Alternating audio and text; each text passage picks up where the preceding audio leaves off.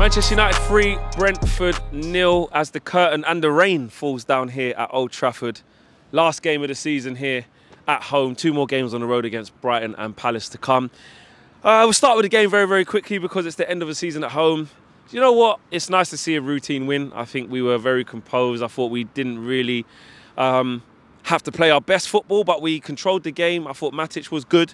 I thought Mata was very good in that number 10 position today. Bruno coming in from the left, that that, that worked. That worked. Um, and the GOAT, the GOAT, Ronaldo just doing GOAT things, just doing GOAT things.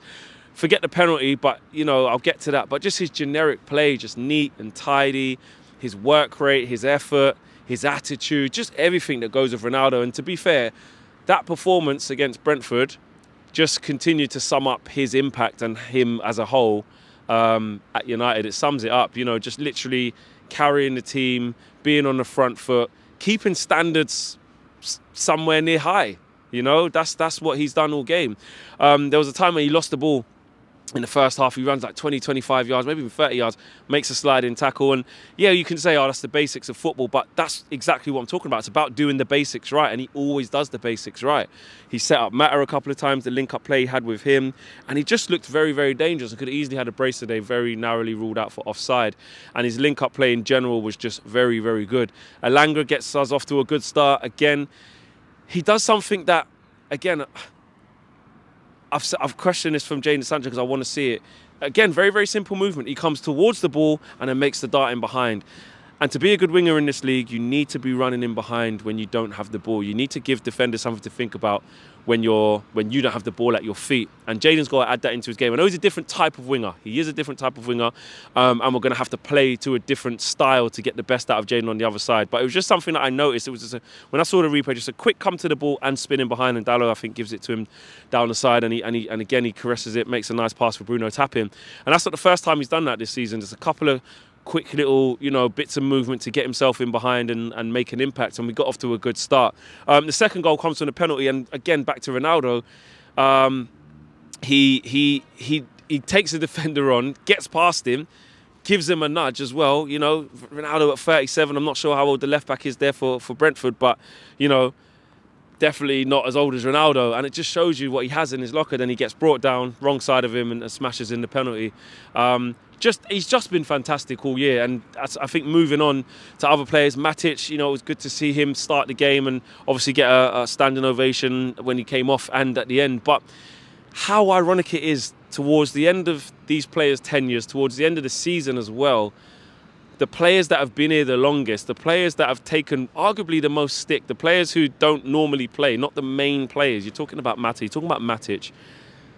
They're the best players. They're, they're, they've, or they've been the best players in the last couple of months, couple of games, should I say. I'm not getting carried away and saying, you know, these, you know, we need to stay and base the team around them. I'm just merely pointing out the fact that it's ironic that the players that are making things tick, the players that are keeping control of the ball, the players that are setting the tone are the players that actually are leaving. You know, it just shows you. I've, what I'm, the reason why I'm highlighting it is because it's more indicative as to where Manchester United are right now. The fact that we're saying that Mata and Matic have been the top performers. The 37-year-old Ronaldo is the top the performer. The 33-year-old, 34-year-old, I'm not sure exactly how old David De Gea is right now, but been here 10 years plus, is the better performer. It's not your new guys. It's not the guys that have been brought in for big money recently. It's the older players. And that just shows where we're at as a football club. Next year, listen, people have been talking about it, getting behind Ten Hag. There's going to be some uncomfortable, probably, decisions that get made, ones that we may think, mm, not sure about that. You know, some people have had their say on Rashford. Nearly all you guys have had your say on Maguire, what happens with him. But uh, one thing I do agree with, whether we like it or not, whether it's popular or it's unpopular opinion, Ten Hag's got the right to come into this football club and and see fit how he deems to take this club forward. And we have to get behind that from the moment off. You know, if, if he keeps Maguire as captain, I know we might not want to see that, but that's what we'll have to get through. If, if, if Rashford's there at the start of the season and he's starting left wing or right wing, we've got to get behind it. It's a clean slate.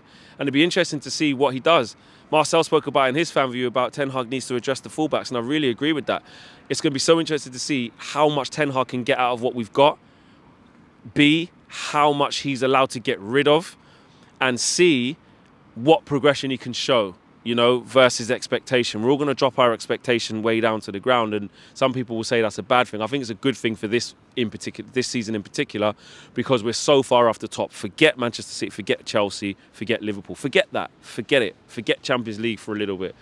We've got to focus on building something, and you know, it's not quite the end of the season, but it basically is, especially here at home. The next time we go inside that stadium, apart from the Legends game that's here in a couple of weeks, will be a whole brand new Manchester United team. Hopefully, a new look Manchester United team. It will be Erik Ten Hag's Manchester United. And it is something to look forward to after an absolutely horrendous season.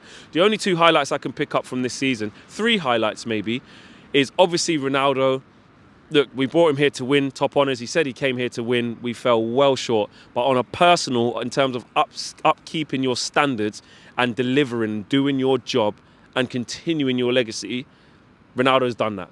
No one can question him. We sometimes question him at times. He looked a bit off it, you know, but the mentality to show that he keeps coming back and keep doing it, he's been fantastic. David De Gea, how many times have we said that in poor seasons where he's been a standout player? He's been great. Um, and I think Elanga's been a good story this season. Uh, you know, the fact that he's managed to break through, don't get me wrong, it hasn't been that hard for him to start games because Rashford's been playing so, so poorly. He's almost made Ralf Rangnick's mind up, but he's done the basics right and he's he's he's taken his opportunity. That's that's a bit of a bright light. We would have loved to have seen more youngsters played this season, but in such a turbulent season, I guess you, you know managers change, and it probably wasn't fair to put those youngsters in. Um, I get that, I really do get that, but you know from Ollie to Michael Carrick to Ralf Rangnick, it's all coming to an end now. As, it, as and the rain here and the cold is very fitting to just sum up our season. Really, we haven't really had rain. Me and Josh were saying this in a lot of, of, of these recordings after the games, and the way I feel right now, I'm getting quite cold. This just sums up the season. There's only a couple of glimmers of light, but we've lit a new candle in Erik Ten Hag, and hopefully he can take us forward. But it's going to take so much patience, guys and I, and I say that with me included, we're so emotionally invested into this club. We love this football club and we want to see it come back to the top. But, you know, it says it there, Manchester United. I think the key there is, is being united. We have to be united as a fan base. We have to be united as, um, as fans and the players need to be united. But that needs to come from them upstairs allowing Erik Ten Hag to build this squad and we have to get behind it from minute one right through to the right through to tough times next season. There are going to be times next season where it's awful. There are going to be times next season, I believe anyway. Hope I'm wrong, but you know where we're on a bad run of form, we can't buy a win, we're not looking great. There's going to be times because I honestly think there's going to be a lot more players here that we think are part of the deadwood or we agree that are part of the deadwood that are still going to be here. We have to accept that, but we've got to get behind Erik Ten Hag. My player of the season has to be Cristiano Ronaldo. Um, I know there's a couple of games left, but he's just been superhuman. My man of the match tonight was Cristiano Ronaldo as well. Smash the like on the video, subscribe if you guys are new, and I will see you at the next game. Peace.